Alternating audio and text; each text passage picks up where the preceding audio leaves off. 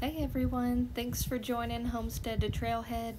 Uh, today I wanted to show some cute footage of our baby chicks going outside for the first time, so let's take a look.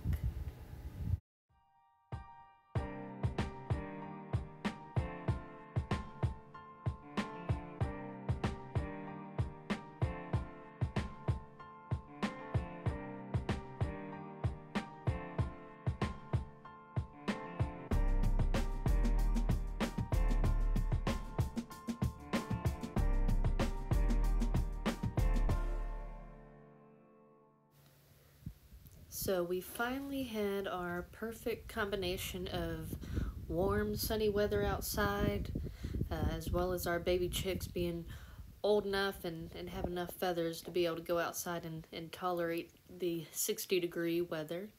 Um, they are about five and a half weeks old, so I still keep the, uh, you know, the temperature in their brooder around 70, but you know, this was finally a, a good time to get them outside for the first time. And as you can see, they were definitely a little unsure of themselves. So it, it did take some some uh, convincing to, to get them out of the box.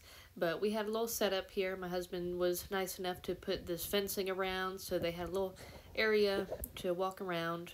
Of course, make sure that you are monitoring them when they're out there for the first time.